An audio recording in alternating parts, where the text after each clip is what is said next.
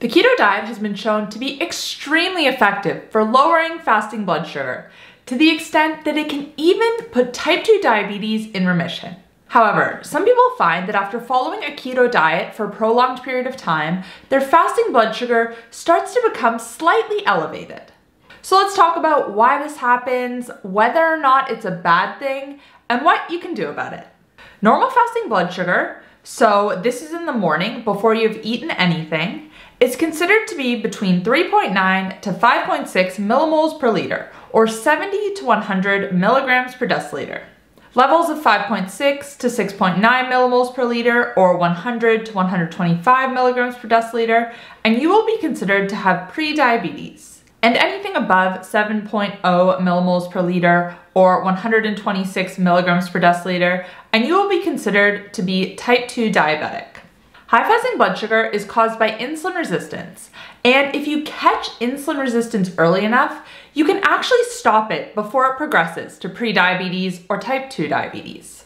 Insulin resistance actually starts 10 to 15 years before fasting blood sugar starts to rise.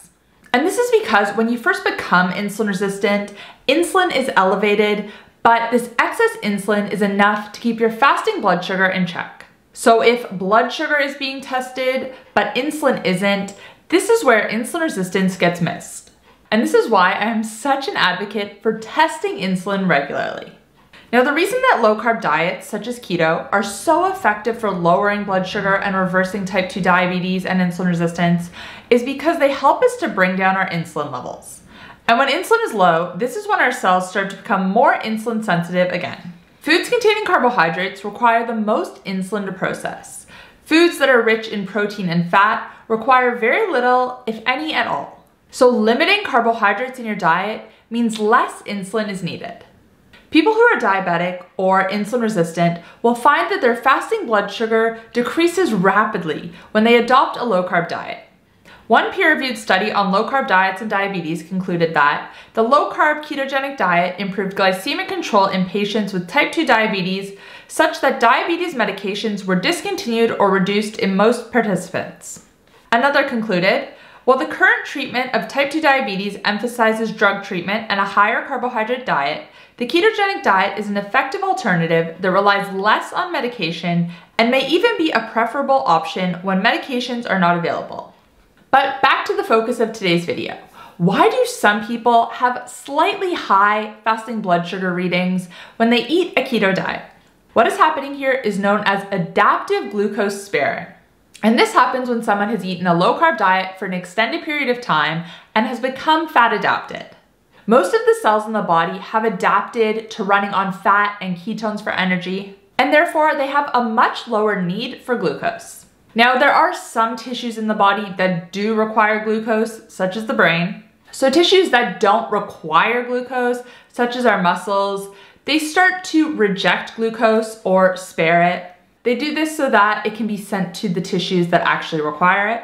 So what ends up happening is when we eat a high carb diet, there is a lot of glucose in our system and our muscles take this in. But since you're eating a low carb diet, and your muscles have adapted to not need as much glucose, then there's more left circulating your system.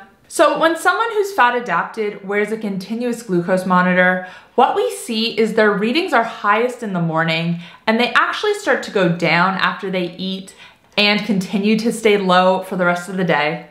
And the reason that it's slightly elevated in the morning is due to something known as the dawn phenomenon. This is when hormones such as human growth hormone and cortisol are released in the morning and cause the liver to release glucose into the bloodstream. This is basically your body trying to wake you up and give you energy to start your day. And again, this isn't a bad thing. This is just your body trying to do its job. So if this is you, if your fasting blood sugar is slightly elevated, but it's low and stable the rest of the day, I wouldn't be too concerned. To put your mind at ease though, I recommend having your fasting insulin tested so that you can get a sense of where your insulin sensitivity or resistance is at. You can ask your doctor to run it, although a lot are hesitant because the significance of high insulin as it relates to our metabolic health hasn't quite caught hold in the mainstream yet. Doctors have been taught to focus on blood sugar, But as we already discussed, insulin levels rise 10 to 15 years before blood sugar does. So if we test our insulin, we can catch insulin resistance years earlier. Now, if your doctor won't run it, there is one at-home kit currently on the market that does test fasting insulin. It's from Sowell Health. Unfortunately, it's only available in the United States, so if you live elsewhere, you are gonna have to go through your doctor. I'll put the link in the description box down below, but the reason I love this kit is not only does it test fasting insulin, it also tests fasting glucose as well, along with six other key biomarkers of metabolic health. Once you send the test back, your results will be physician reviewed, and within a couple of days, you receive a report that has an overview of your metabolic health and also gives you a plan for next steps you can take. Again, I'll put that in the description box down below. Now, if you get your results back and your insulin is low, that is a good thing. If it is a bit elevated, then what you wanna do is keep focusing on keeping your blood sugar stable. This will help you to keep your insulin low. Continue your low carb diet. If you do know you are gonna have a meal with a few more carbohydrates, then make sure to drink something like Good Idea drinks beforehand. These drinks contain a unique blend of amino acids that help to improve insulin sensitivity and lower the blood sugar response to a meal, which means less insulin is needed all at once. I'll link these down below as well. And I actually have a full video on balancing your blood sugar and bringing your fasting blood sugar down. So I will link that up above if you're looking for some more tips. But anyways, guys, that's all I have for you today.